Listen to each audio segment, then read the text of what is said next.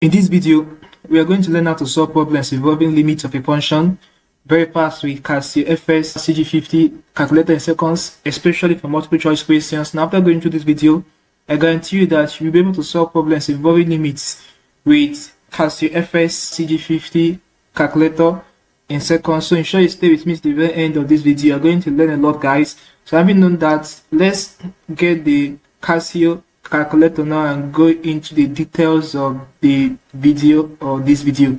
Alright, so this is Casio FS CG50 calculator. Now the very first thing you have to do will be to clear or reset your calculator. The sense of doing this is to put your calculator in default mode to remove whatever previous value you might have stored on uh, the calculator. Alright, so to simply reset it, all you have to do is to use this navigation button Alright, so we are going to go to system. So this is system. When you get here, you press execute. Execute on this calculator signifies equal to. So when you press execute, you will see we set F5. Alright, so once you press F5, you go to next page, use press F6. Alright, so initialize or F2. Okay, so F1 stands for yes, we press F1. So once you press F1, it will begin to reset it as indicated here. So it's beginning to reset the calculator. Very important guys that you reset it before you begin to solve your questions. So it's done. is it press it? So it's now reset. Alright. Now the next thing you have to do after resetting will be to let's begin question one. The question said the limit evaluate the limit extending to 2. So we have these cubic functions, numerator and at the denominator. Alright, so you press execute for Run-Matrix. Alright, so once you do it, what you have to do now, the idea behind solving limits with the calculator will be to add this constant 0.001, note it, 0.001 to the real number the limit is tending to. So in the case of this question, y is tending to 2. So we're going to do, we're going to add, so 2 plus 0 0.001. Alright, so we press a execute. Now, you store this as x in the calculator Alright, very important. So once you add 0.001 to the real number, you store it as x in the calculator to store. All you have to do now would be to press this arrow button first, then press alpha and x is at this plus button, then press execute and indicate that it has been stored. Alright, so now that we have done this, let's delete everything here. Delete all, press F1. Alright, so we are good to go. Let's impute this question exactly as we have it here. So it's in fraction, make use of this fraction button. Okay, so we have 4 minus 8x alpha x, okay, plus 5x square alpha x square, alright, minus x cube alpha x. The cube, make use of this power function right over okay so we have 2x alpha x okay cube. All right you come down. Okay so we have minus 9x alpha x square okay plus 12x all right alpha x minus 4. And that's all. Hope we're not omitting any number or any value.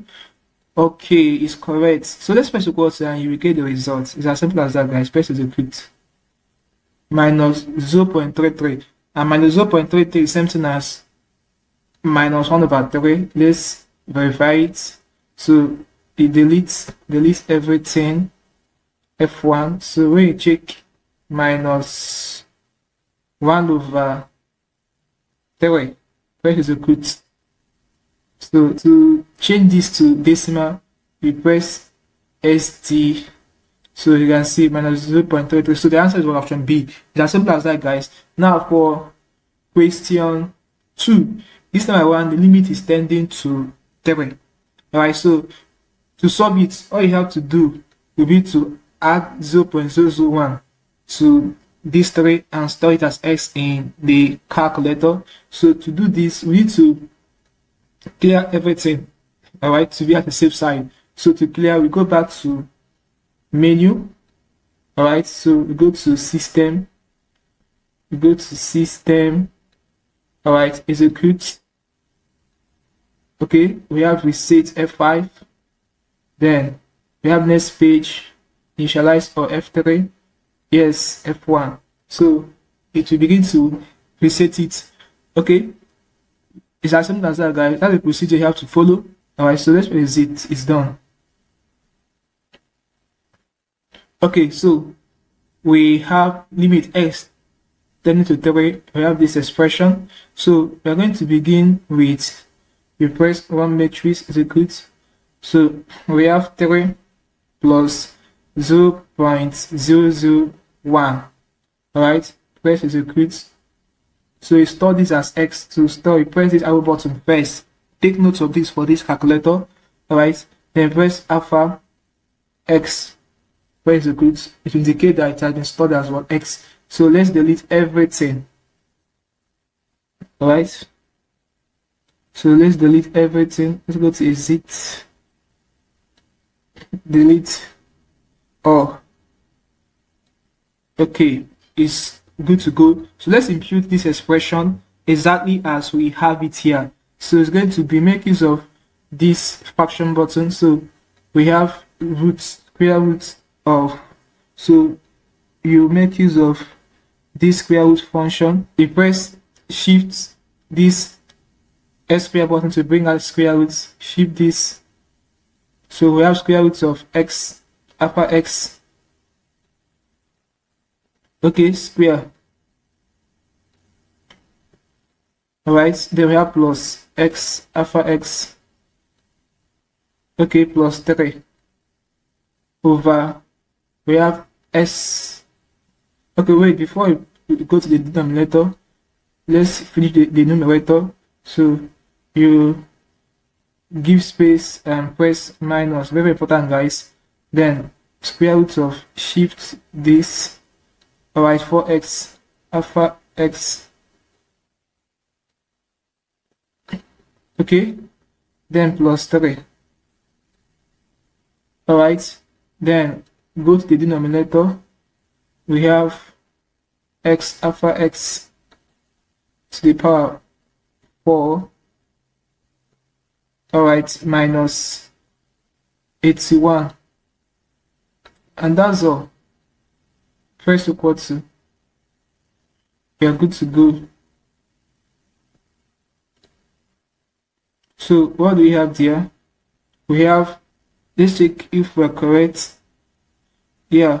So we have 3.58 times 10 to the power minus 0 minus 0 0.3 0 0.3 okay let's what we're going to do, do now will be to evaluate the options they want to give us 3.58 times 10 to the power minus 0 3 alright so it's as simple as that guys let's delete everything delete all press f1 Okay, so let's begin with option A. Remember, we have 3 points, 5 times 10 to the power minus 0, 3 thereabouts. So, option A, we have 1 over 24 root shift this 3.